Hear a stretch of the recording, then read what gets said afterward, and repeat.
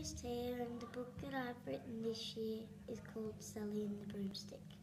My name's Holly Batchelor, and my book is called My Big Sister Speaks 11 Languages. My name is Harper, and my book is called Same. My name is Hurricane, and my book is about Life of the Blackfellas. It's about a witch that wanted to go to the movies with her cat, but the broomstick had broken and then she couldn't go, so she tried to find a different way to go and fix her broom.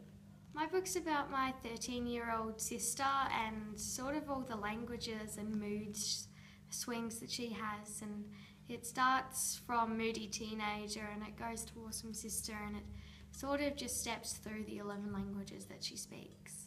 Well, my book is about my grandma when she was a young woman and she lived in Melbourne. Um, she was walking to work one time and everyone started talking, strangers started talking to her like they knew her. And she thought that was really weird. So a couple of weeks or months later, she met a woman in Myers and they were doppelgangers. That was sort of my inspiration for the story and that's what this book is about. Oh, when the whitefellas came and took over our land and how we lived and how we used our stuff for weapons and all that. I've never done a story about my, the blackfellow, my, my culture, so I thought to myself I should.